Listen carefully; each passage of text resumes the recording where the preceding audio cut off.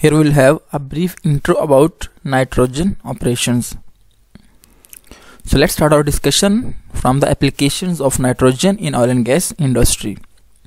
Nitrogen is a widely used element in oil and gas industry for a number of applications. For example, nitrogen lift, energized acid stimulation, foam diversion for matrix stimulation, nitrogen purging, foam cementing, well underbalancing for underbalanced perforations or fishing operations. Plant purging surface facility purging surface facility pressure testing and dehumidifying etc so why do we use nitrogen instead of other gases? Nitrogen is used in oil and gas wells instead of other gases due to a number of reasons. The first reason is that it is an inert gas and nitrogen does not contribute to the burning process. Nitrogen does not chemi chemically react except under abnormal conditions which makes it a safe gas.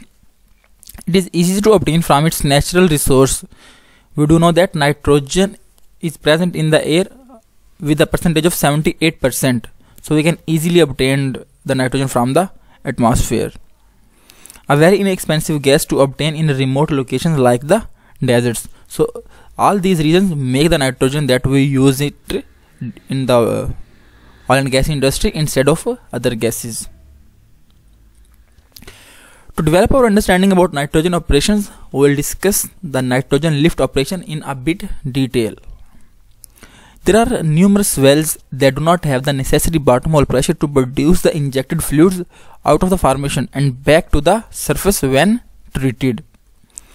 So in this case, the well needs assistance in removing the fluid after the treatment has been completed. One of the methods used to help remove the fluids from the well is to inject gaseous nitrogen with the fluids at the time of treatment. In this way, after that completion of the treatments due to the energized fluid when the when the nitrogen flows back the fluid also flows back. And this process is known as artificial energizing. So in this process what we have done actually we have provided the well an external energy source. The the reservoir cannot produce by itself but we have injected the nitrogen. So when the nitrogen will come back it will remove the treated fluid. Similarly, if the well has been killed due to any operational reason, for example, during well completion or during drilling, we normally keep the well overbalanced. So when we have to revive the well, that is we have to start the production, we have to shift the well from overbalanced condition to the underbalanced condition. In that case, nitrogen is pumped in the well bore. It removes the fluid column and thus assists the well in flowing. This process is known as nitrogen off. Here we will talk about the nitrogen treatment execution.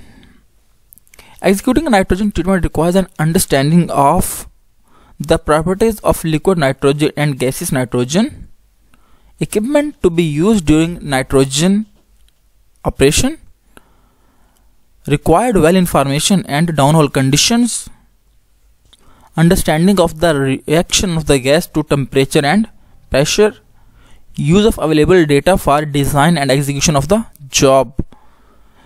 Calculations involved in the nitrogen treatment and job preparations. So if we want to execute a nitrogen treatment in a successful manner we need to have an idea about all these parameters all these concepts.